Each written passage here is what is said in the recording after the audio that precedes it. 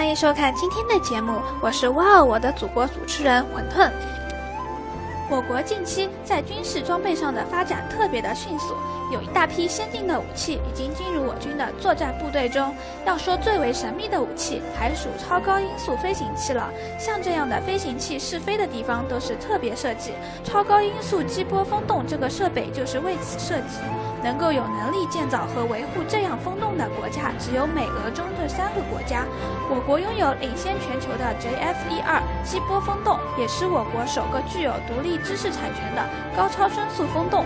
它只针对五倍音速以上的超高速飞行器实验，不仅在于它产生的流场区域大。气流速度高，试验时间长，更重要的是应用了最独特的爆轰驱动技术，克服了自由活塞驱动技术的弱点。其技术是在于洪卢先生的指导下研究所发展起来的，他还是这个技术的创始人。我国将为获得可靠的高超声速试验。数据而感到骄傲。该设备可复现二十五到四十公里高空，五到九倍声速的高超声速飞行条件，模拟带发动机工作的高超声速一体化试验，需要的测试时间至少是几十毫秒。国外的相关风洞大约只能做到三十毫秒，而 JF-12 能达到一百毫秒试验时间。JF-12 喷管出口直径可达二点五米，试验舱直径三点五米。整体性能还是处于国际领先水平。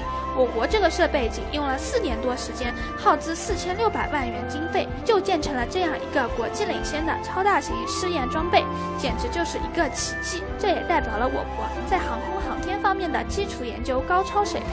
喜欢收看我们节目的小伙伴们，点击关注，我们每日都会更新哦。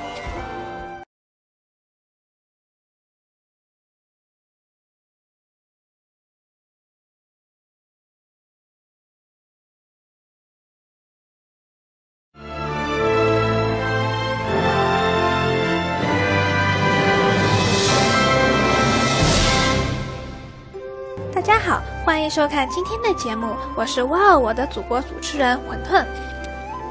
我国近期在军事装备上的发展特别的迅速，有一大批先进的武器已经进入我军的作战部队中。要说最为神秘的武器，还属超高音速飞行器了。像这样的飞行器试飞的地方都是特别设计，超高音速激波风洞这个设备就是为此设计。能够有能力建造和维护这样风洞的国家，只有美、俄、中这三个国家。我国拥有领先全球的 JF-12 激波风洞，也是我国首个具有独立知识产权的高超声速风洞。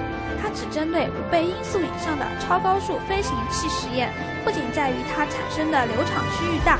气流速度高，试验时间长，更重要的是应用了最独特的爆轰驱动技术，克服了自由活塞驱动技术的弱点。其技术是在于洪卢先生的指导下研究所发展起来的，他还是这个技术的创始人。我国将为获得可靠的高超声速试验数据而感到骄傲。该设备可复现二十五到四十公里高空，五到九倍声速的高超声速飞行条件，模拟带发动机工作的高超声速一体化试验，需要的测试时间至少是几十毫秒。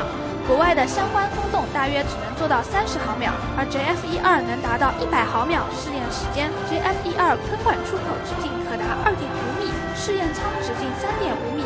整体性能还是处于国际领先水平。我国这个设备仅用了四年多时间，耗资四千六百万元经费，就建成了这样一个国际领先的超大型试验装备，简直就是一个奇迹。这也代表了我国在航空航天方面的基础研究高超水平。喜欢收看我们节目的小伙伴们，点击关注，我们每日都会更新哦。